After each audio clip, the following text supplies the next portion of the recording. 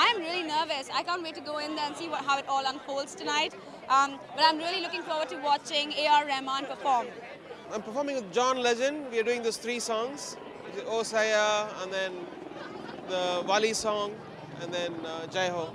These are chapters in your lives, and you have to life, and you have to move on from one to another. And this has been a fabulous chapter. Almost don't want to shut the book and say, "Oh my God, I have to pick up the next book now." But uh, that's the way life rolls. So we're going with it. Because we got it's a real climax to it because we got all the actors here, you know, and it's so lovely to have them all here. I know you've spoken to some of them, and that's really special for us. We weren't sure about bringing them all because we thought maybe the young ones would be too you know, distorting an experience, but to see them here has just made it all worthwhile, you know.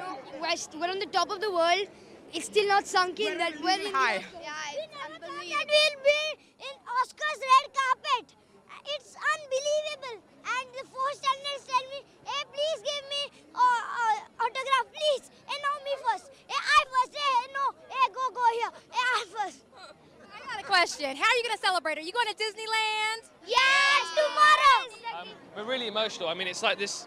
We've been in this complete circle. We started off in India with a really small budget on this in this film with a big heart. I met all these guys for the first time, um, Irfan, you know, Madhur, and it was an amazing experience shooting the film. It was such a tight knit crew, and then to come here with the kids and everyone, you know, it's like it's rounded it off in a complete circle.